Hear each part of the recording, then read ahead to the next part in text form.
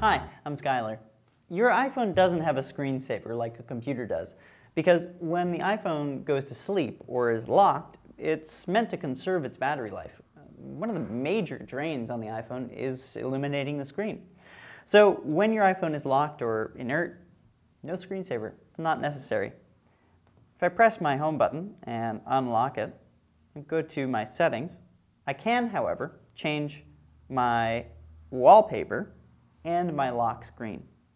So wallpaper is the image that's behind your apps.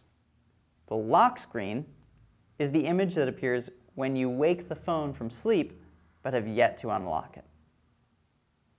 So if I go to Settings and Wallpaper and choose an image, say this one, then tap Set, I can choose either my lock screen, my home screen, or both. That way, I can customize it. I can say, well, I want this image as my lock screen and this image as my home screen. Thanks for watching. I'm Skylar.